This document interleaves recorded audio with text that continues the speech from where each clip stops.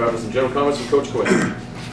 Well, should we just replay last night's press conference? Should we just replay the hockey game that happened last night? I mean, uh, really, it was just eerie uh, how the whole thing transpired, uh, similar to what happened last night. I actually thought we played much better in this first period than we did last night, but, uh, you know, it was just, you know, I wish we'd start better. Uh, I thought we were really sloppy early with the puck. It was turnovers that were really causing us problems.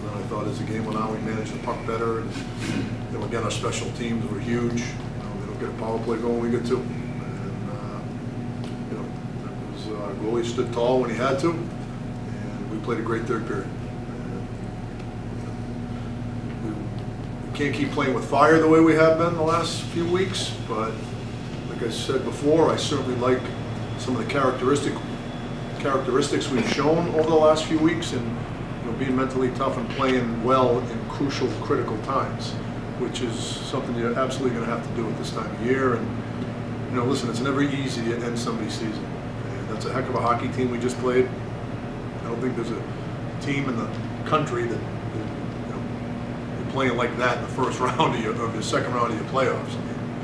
You know, we may move forward and not see teams as good as them. And, uh, you know, they've, uh, a lot of talent there. They play hard. They make it real difficult that's, that's why, you know, I'm so proud of our team because that's a very good team we just beat two nights in a row. Coach, almost the same question from last night. What is it about the comeback mentality that you guys just never say die? Well, we might be so immature we're stupid, you know? That might be part of it. Uh, David, how important was it after you're down two nothing and Phelps gets the, the second penalty with about a minute to go to kill that offense, especially where it went over two periods? Right, right. Where- Well, I think it helps you, it helps you, I think, from a penalty kill standpoint, where it's broken up. So, you know, I thought that was probably our best kill of the night. I thought they had way more, Yep. you know, chances. They, they, they were buzzing with uh, the power play. And, you know, I just thought early on, we were slow reacting. I mean, there'd be loose pucks, we were slow to them. We were slow with our second defender. We were ju, we just weren't quick enough. There wasn't a pace to our game. And I thought that got better as the game went on, and they spent way less time in our end. You know, there was a time in the second period, they, they were hemming us in, and it looked like we could clear pucks, and we couldn't do it because they were quick to them. And as the game went on, I thought we got quicker. And, you know, I thought that was the difference in the game. Is it a sign of a, of a really good team, though, that even though you dug yourself the hole both nights, you had the ability to come out, uh, get out of that? Yeah, I don't, I don't think there's any doubt. Again, you're gonna need mental toughness, you're gonna be resilient, you're gonna need to be resilient this time of year. You can't let situations put you down, and you gotta keep moving forward. And I thought that's what we did. You know, we didn't let the two nothing deficit get us down. It didn't get in the way of our performance, which is what you need to do. You just gotta keep moving forward. And I thought we did a good job of that. What would you say is the reason you guys are so successful against their power play? Um, we have a great goalie. Um, I don't know, I can't, I don't want to reveal all our secrets. But listen, they had chances. It wasn't like we, you know, hemmed them in. it wasn't like they didn't have chances. I you a little puck luck too. What's At the- the I was just gonna say, at the- at the other end, you got two power play goals both nights, so uh, not only did you pull them off the board on their power play, but you got two each night. Um, Yeah, Seems that's like the your power difference. play's back on track. It is, it really is. We've, we've been scoring power play goals. I don't know how many games in a row, but we've been scoring power play goals. You know, I know this time of year, your year stats don't matter. You know, it's what are you doing right now? I mean, how good your power play right now? And we may be 23rd or 22nd in the country. I could care. I don't know how we look right now. Right now, our power play looks good, In the, and we're being productive. in the third period, how did you guys hold on to control the game with power? I thought we kept it simple. Our puck management was so much better throughout the second and third period.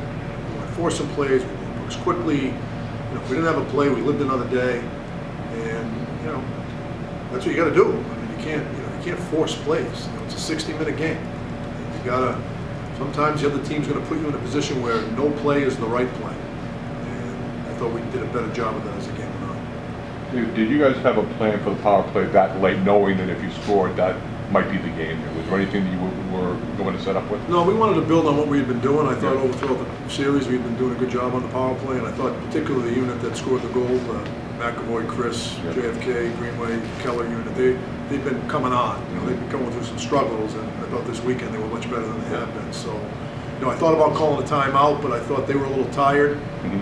Um, Our guys were fresh, so decided not to. Jocko? Tony, uh, if memory serves, I think your career and Mark Krys's might have overlapped by one year. Yes, yeah. Um, Can you just talk about the connection, and and also Chad's been kind of the unsung guy of your, all your freshmen. Well, Mark actually, ironically, Mark uh, came to BU when I had to quit playing. That's how he ended up, he ended up, you know, I had to quit playing uh, in 87 and they needed a defenseman and they went out and got Mark and he actually stayed with me during his visit. He's been a great friend for a long time. And his son made us work real hard to get him to come to BU, I'll tell you that. It should have been a lot easier than it was, but we're certainly glad we have him. He's had a great year. He gets better and better. He's a phenomenal kid. Uh, He's got a lot of talent and, uh, you know, it's just, I'm really happy for him that he got that goal.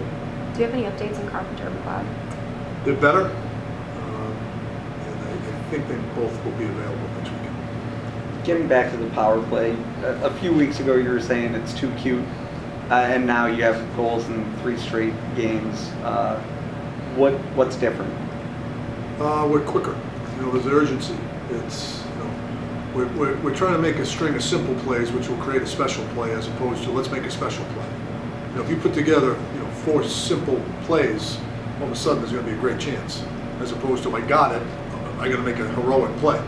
Just keep moving it, keeping it simple, have a pace to your power play, shoot pucks and you retrieve them. I mean, it's really, I know that sounds simplistic, but it is.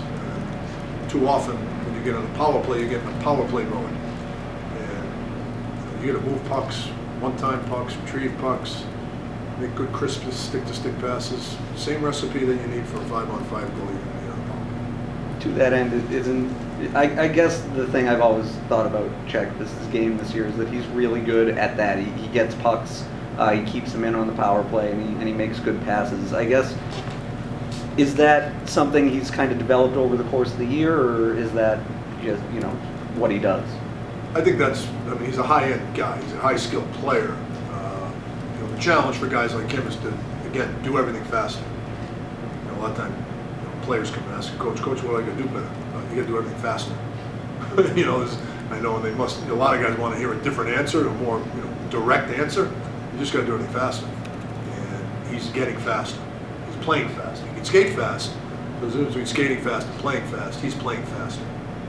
What, what can you say about Forsbacka Karlsson again, matching up against Aston Reese's and then obviously going to assist?